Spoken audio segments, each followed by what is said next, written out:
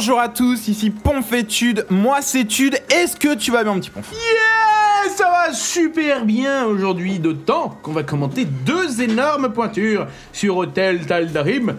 July, donc July Zerg, qui est euh, légendaire euh, StarCraft 1, Broudoir, etc. L'homme qui détient a priori le record d'APM, 881 APM pendant quelques secondes. Ah oui, c'est impressionnant. Et, euh, et qui va jouer euh, contre Liquid Huck. On avait commenté donc B- Moon contre Bomber. C'était la première demi-finale de la DreamHack. Et là, c'est la deuxième. Liquid Hack qui va jouer donc contre Julai. Deux titans concrètement. Julai euh, en Zerg. Donc euh, je, je sais pas si, euh, si le, le style de Julai en Zerg est comparable à celui de Moon. Est-ce que t'as. Euh... En toute sincérité, euh, je pense que j'ai pas vu assez de parties de Julizer pour, euh, pour, pour voir ce que ça va donner. Maintenant, ce qui va être intéressant de voir, c'est euh, comment est-ce que July va jouer la map en fait. C'est encore une fois là les positions qui ne sont pas défavorables pour le Zerg. Puisque le Zerg peut faire un Haras Muta euh, sur la B2 euh, du Protoss et même dans la main et véritablement revenir avec son armée pour défendre par exemple très très rapidement. Donc il peut profiter de, cette mobilité. Mais si cette carte est un peu favorable je dirais aux Zerg mais en Zerg versus Terran en Zerg versus Protoss je, je suis pas convaincu que, que l'écart soit aussi grand que ça Et la configuration de- des positions pendant que euh, Huck est en train de partir sur un Forge First, probablement un wall avec euh, donc une Forge Expand, expand. ouais. Ouais. Là, en gros, certes, le Zerg peut avoir a, a cette facilité de harass ici, cependant, et de drop également, par exemple là, cependant, pour accéder à cette B3 donc de Huck, en fait, il- c'est plus difficile pour lui puisqu'il va devoir passer euh, par ici, donc passer devant la B2 de Huck. Si Huck bloque ici, bah, il pourra juste pas accéder à la B3, alors que Huck, à l'inverse, s'il arrive par ici, donc par la droite, il aura le choix, soit partir en bas, donc directement dans l'expand, soit partir dans la B2, et ce sera, disons, 50-50, il n'y ouais, aura dans- pas de difficulté particulière. ouais dans les deux bases où, euh, qui- qui- où il pourra vraiment infliger des dégâts euh, aux Zerg parce et que seront- de front, euh, voilà, ce sera plus simple pour lui, je pense, d'accéder à cette B3. Ouais, effectivement, on va voir s'il va être capable d'en profiter. Donc, Forge Expand, c'est. je pense que c'est. Ouais, c'est vraiment ce qu'il a, ce qu'il a de mieux à faire. Et quant à lui, July, voilà, July qui est parti, alors si je me trompe pas, sur un Sen build. C'est un petit peu étrange qu'il soit parti sur un Sen build. Est-ce qu'il va vraiment pouvoir profiter de la mobilité de ses premiers Zerglings? On peut voir qu'il s'est contenté de 4 Zerglings. Euh, de toute façon, je ne pense pas qu'il va, euh, va tenter de run by sur, euh, sur Huck. Non, c'est, c'est un petit peu surprenant. C'est, je sais pas. Je, je- Parce que je- tu penses pas qu'il. Ouais, effectivement, il- Ah. il, va avoir beaucoup de mal à, à les rentabiliser. euh. Voilà, non, je, je pense pas qu'il peut, euh, qu'il peut vraiment euh, embêter, embêter Huck. Et, Bah, après, Enfin, c'est- c'est- c'est et, des- et- et il pose sa B2 un peu tard, quoi. Après un Senbi, Ouais. il la pose à 21, alors qu'il aurait pu la poser à 15, euh, s- très sincèrement, sans vraiment prendre de risque, quoi. Donc euh, voilà, bon, c'est ce qu'il a choisi de faire. On va voir ce que ça va donner. Les queens euh, qui sont la deuxième queen qui est en préparation, la vitesse qui, euh, la vitesse qui va bientôt se finir. Donc voilà, pour l'instant, July qui, fait du, classique, pas de gaz, il va, maxer en, en hatch, en drone et en drone pour s'a- s'assurer euh, voilà, une, une belle économie, quelque chose de plutôt sérieux. Cependant, cependant au, niveau, euh, au niveau income, euh, voilà, le Proto c'est toujours devant puisque lui a fast expand euh, vraiment plus tôt que le Zerg et, euh, et résultat, niveau drone, il est devant. Donc, euh, donc pour l'instant, July qui, qui doit faire preuve soit du dégât, soit arriver à choper les, les, sons, les, drones, les sondes, les probes de son adversaire. Voilà, là on voit que ça fait quand même longtemps qu'il est sur B2 et résultat il produit les probes, euh, les sondes deux par deux. Donc voilà, il a. Ouais, il peut les chrono-booster, mais après, le Zerg, il pourra toujours euh, droner euh, plus rapidement que le Protoss. Donc, je, ne doute pas que Julai va, revenir à niveau. La question, c'est qu'est-ce qu'il va faire après sa B2 Eh bien, on a la réponse. Il va passer euh, tier 2. Alors qu'il aurait pu, quand même, très facilement poser sa B3. Il y a des joueurs Zerg qui posent leur B3 avant de, de rechercher le tier 2. On avait vu ça de la part de Moon. D'ailleurs, la B3 en Zerg, euh, le Fast B3, c'est euh, une très bonne manière de contrer le Fast Phoenix en Protoss. Puisque mine de rien, voilà, si t'as une base et que tu te fais péter 5, 5 drones, bah ça te fait chier. Par contre, si t'en as 3, Ah ouais, bah, ah ouais, ouais, résultat, non, le mec, clair. tu lui donnes quoi. C'est genre, vas-y, prends-les, fais-toi plaisir quoi. Prends-les, euh, dans 5 minutes, il y a Mesdra qui arrive et on va voir ce que tu vas faire. Quoi. Voilà, il y a Masro euh, Chidra et. Non, c'est clair. Et c'était, euh, c'était euh, comment s'appelle-t-il euh, en Zerg euh, Bon, je me souviens plus du nom qui disait que effectivement euh, un contre, mais moi ça m'a- ça m'avait choqué, c'est-à-dire qu'un contre a une stratégie donc face Phoenix, c'est de prendre B3, genre. euh, C'est pas une unité. truc, voilà, c'est- ouais. c'est Ah, structurel quoi. Donc euh, donc c'est assez marrant quoi. On a pendant ce temps euh, un conseil crépusculaire qui est popé très rapidement, qui va permettre euh, probablement de partir d'été, puisque euh, d'été ou d'été qui a un contre aussi assez balèze contre Fast Expand en Zerg.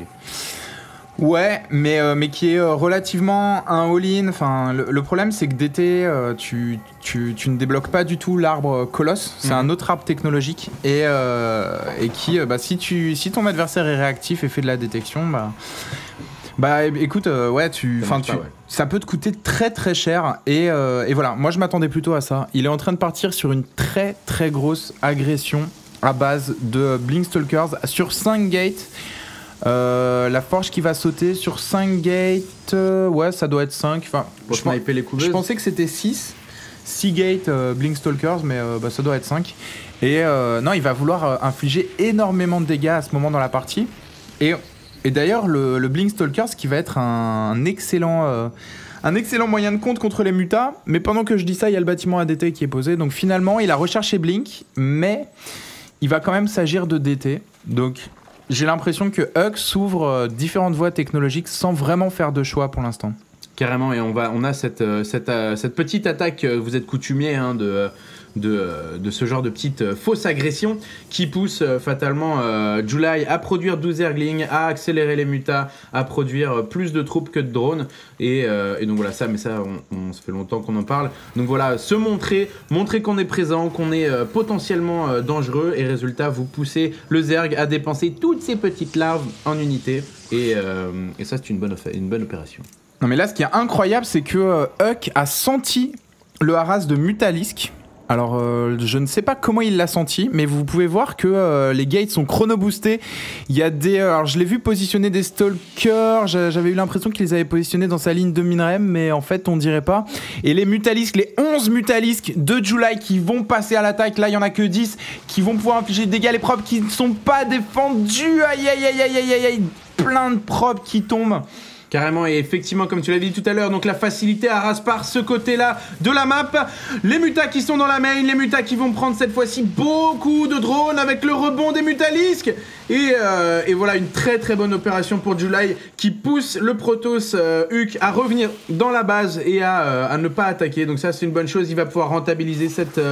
Cette, euh, cette B3 ici, un Stalker qui tombe, July qui met une grosse grosse pression sur, euh, son adversaire et, euh, voilà là pour Ouais, j'ai- attends, j'ai l'impression qu'il y a des DT dans. Ouais, c'est ça, il y a des DT dans la B2 de July.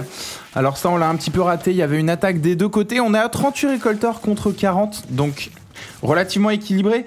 Maintenant, July peut, comme il est Zerg, lancer une quinzaine de drones en même temps en construction. Donc, on va dire un échange globalement euh, à l'avantage du Zerg, puisque la stratégie des DT a été éventée. Donc il va euh, maintenant, à partir de maintenant, ça va être très difficile de les utiliser efficacement, alors que les mutas, bah, ils sont là et, euh, et euh, ils forcent, ils sont véritablement en train de forcer Huck à faire des tours dans son minerai. Et même s'il fait des tours dans son minerai, bah, les mutas vont toujours lui servir à, à empêcher Huck de prendre une B3, de prendre une B4, etc. Donc c'est des unités qui, qui perdent beaucoup moins en valeur quand elles sont dévoilées en fait. D'accord. Et, euh, et là, on a quand même pas mal de zilotes pour, euh, pour, euh, pour Huck, alors que, enfin, je sais pas, il y a, il y a pas mal de mutas. Est-ce que tu penses que c'est une bonne. euh, Non, non, il a, il a fait des ilotes. D'après moi, il a fait des ilotes parce qu'il avait besoin de gaz. Il économisait son gaz pour faire des DT. D'accord. Et euh, voilà, enfin, il voulait dépenser son minerai en gros. Donc je, pense, je pense que c'est pour ça qu'il y a beaucoup de zilotes. Niveau muta, on est à 16 mutas. Et 6 overlords en production, donc euh, 16 mutas, on arrive à une masse critique euh, qui, voilà, euh, je pense qu'elle one-shot one euh, une tour, une photon canon, ça one-shot des, euh, des stalkers sans problème. Et, euh, et là, ça fait beaucoup, beaucoup de mutalisques. Généralement, quand un Zerg arrive à 16-20 mutas, quand on est l'adversaire, on se dit qu'on a raté quand même quelque chose parce que ça commence à. Enfin voilà, c'est- ravageur quoi. Et, les Mutalis qui empêchent depuis tout à l'heure la prise de B3 de la part de Huck, qui euh, c'est la deuxième fois qu'il essaye de la choper ici et, ouais, il est forcé d'avancer par, euh, par photon canon interposé donc c'est très très très difficile. Les Mutas qui sont au-dessus des Stalkers et qui vont prendre beaucoup beaucoup de dégâts sur ce coup. Ah là là, July qui les laisse néanmoins, euh, qui les laisse ici. Alors je ne sais pas exactement, peut-être qu'il euh, il a surestimé le pouvoir de ses Mutalisques ou alors il a sous-estimé le pouvoir de Rip-Hop de son adversaire. Mais en tout cas là il a perdu beaucoup de Mutalisques, il est plus qu'à 10 mutas et, euh, et pour un, échange qui n'a pas vraiment été efficace je pense. Ouais, cela dit, toujours une base d'avance pour le Zerg. La B4 qui n'a toujours pas été posée. On est en train. euh, alors, est-ce qu'il y a des roach? Je n'ai pas l'impression. Non, pas de roach. Donc, on a un switch direct sur Hydra. Cela dit, c'est pas une mauvaise idée. C'est pas une mauvaise idée. Pourquoi? Parce qu'en fait, il a, euh, il a vu que son adversaire était parti euh, sur DT. Donc, il n'avait pas débloqué l'arbre, euh, l'arbre Colosse. Et il se dit, il n'y a pas de dégâts de zone en face. Ou alors High Templar, mais les High Templar, il peut les sniper avec les mutas s'il est suffisamment bon. Ce qui, est beaucoup plus difficile pour les colosses. donc, donc je pense que c'est pour ça qu'il est en train de partir sur une compo Hydra. Et euh, d'ailleurs, il a stoppé la production de drones, donc ça pourrait très bien s'agir d'un all-in de la part de July. Et cela dit, il est à 70, euh, 70 drones, donc en fait, euh, il a plus besoin de drones pour l'instant sur trois bases. Carrément, et euh, c'est vrai que 70, généralement. euh, Bon, après, la question, c'est comment tu fais pour les compter? Bon, ça prend du temps, mais euh, c'est généralement, tu. tu... Voilà, il y a que July pour s'arrêter à 70 piles, quoi. Genre, euh, il, a ses- il a son nombre de drones en tête et il dépasse pas, il dépasse pas, quoi. Pendant ce temps, il va prendre d'autres bases ici. Un DT qui, celui-là, va être beaucoup plus successful. Et les. les, les, voilà, c'est beaucoup d'unités très légères avec peu de points de vie pour le Zerg. Donc, comme tu disais tout à l'heure, il va falloir qu'il fasse un, un vrai travail de sniping sur les, sur les High Templars s'il veut pas tout perdre, quoi. Parce que là, deux ou trois storms dans tout ça et ça saute, quoi. Ouais, c'est clair, il y a deux High Templar en face, et euh, bah là, tout, tout va se jouer au High Templar, quoi. Le Storm, de toute façon, ça va. Maintenant, il y en a quatre, ça va infliger des dégâts énormes aux Zerglings, aux Muta, aux Hydra. Donc, euh, donc voilà, il a pas visé les High Templar. Là, il va devoir back. Je pense qu'il va devoir back euh, le Zer. Il ne devrait pas rester dans cette fight, et il va pas pouvoir sauver ses Hydras. Ah là là, Blinkstalker sur les Hydras, les Hydras qui ne vont pas partir, attention, Storm Ah là là là là euh, Julizer qui perd toutes ses troupes, il est à 152. Je pensais qu'il était vraiment descendu euh, plus bas. Oh là là, le rip-up de July. Il va, il essayer de l'avoir à l'usure, même s'il n'a pas la bonne composition d'armée. Et en plus, je ne suis pas sûr qu'il reste des, euh, storms en stock pour le, pour Protoss. Non, c'est pour ça. En fait, moi, je pense que July a vraiment planifié une attaque en deux temps là-dessus. Il a planifié qu'il y aurait des storms, qu'il devrait back et qu'il aurait un rip-up en 17 secondes de Zergling et qu'il là, il pourrait euh, infliger euh, des dégâts parce qu'il y aurait plus de storms en face.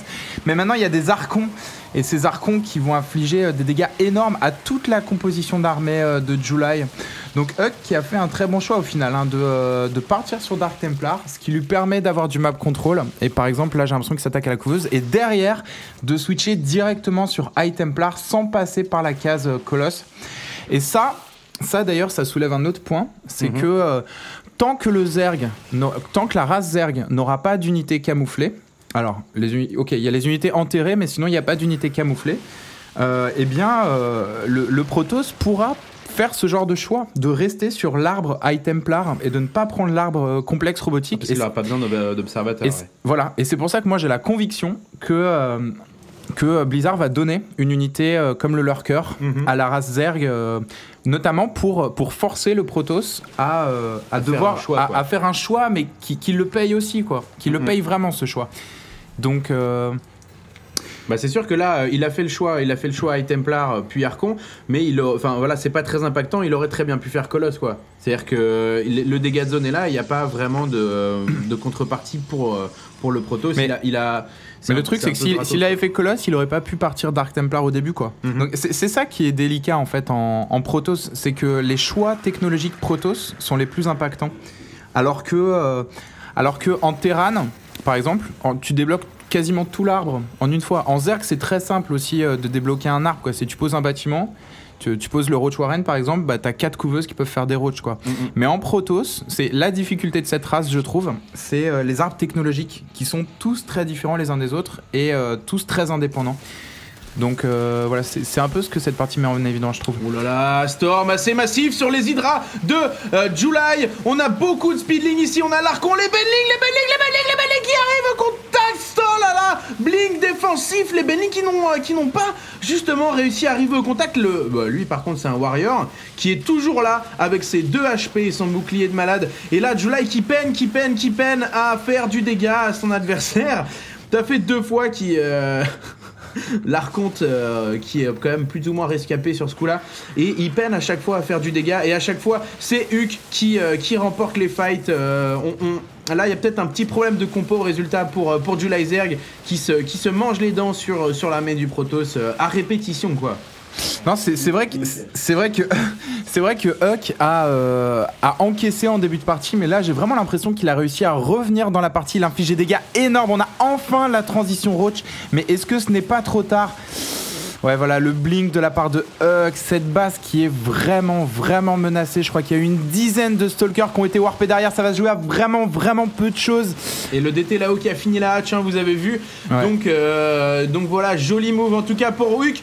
Huck qui est en train de défoncer l'armée de son adversaire. On a beaucoup de stalkers ici. On a euh, les renforts qui arrivent, les renforts qui arrivent. Et là, ça sent plus ou moins la game. On est donc euh, dans la demi-finale de la DreamHack. Et Huck qui fait euh, preuve avec ses Blink Stalkers d'énormément de skills. Et euh, qui arrive à contrer une composition Hydra Speedling avec des stalkers. Enfin voilà, les stalkers, c'est c'est typiquement. Et c'est le GG C'est typiquement les stalkers, les, euh, c'est, la compo qui est censée subir les euh, Hydra Spilling. Enfin, c'est comme ça que le jeu est fait quand même. Et Ah, là, ouais, mais euh, effectivement, il a, il a atteint une masse critique de Stalker. En face, il n'y avait pas assez de répondants et il a pu profiter de la régénération du bouclier et euh, du blink pour euh, ne perdre quasiment aucune unité. Et il a eu, euh, il a eu July à l'usure, donc vraiment une très très belle partie rondement menée de la part de Huck.